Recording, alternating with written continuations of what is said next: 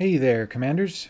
This week's community goal continues research efforts into the Thargoid Titans by way of a commodity goal and a bounty goal. The commodity goal requests indium, gallium, polymers, and ceramic composites, all of which can be sourced from large starports with ample supply reserves in a 50 light year bubble around the RAB system.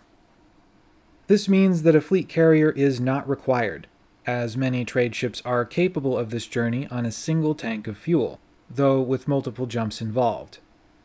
Time and consistent effort are key. Most players will be able to make steady progress.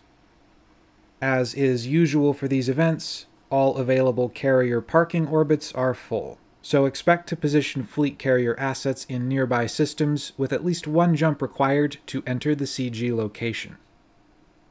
Given the large supply points available at close distances, fleet carriers are not expected to save that much time compared to local traffic, and are advisable only if you want to hunt greater value at greater distance.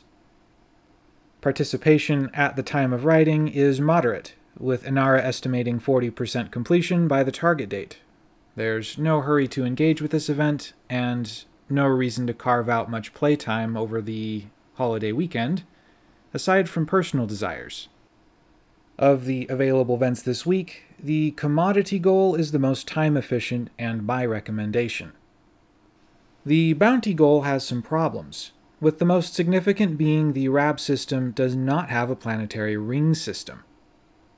This means that farming bounty targets at resource extraction sites is not possible.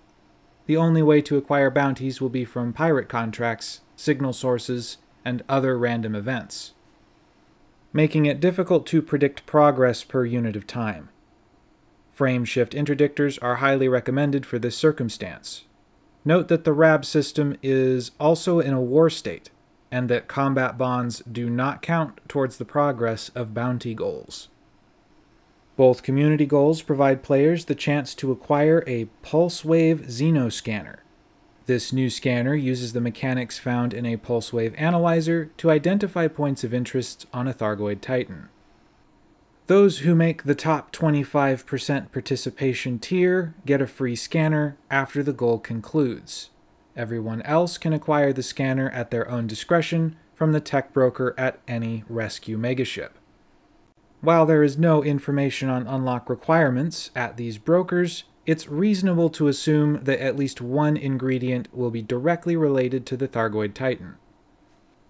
So far, every new module related to the Thargoid War has followed this pattern.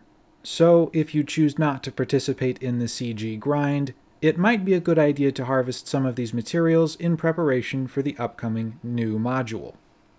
Those who plan on participating in the CG need to be willing to commit to it, as the top 25% tier is difficult to attain, even in an average week. Players should plan on about 4 hours of efficient effort, with the possibility of additional efforts towards the end of the cycle to ensure a safe position on the leaderboards.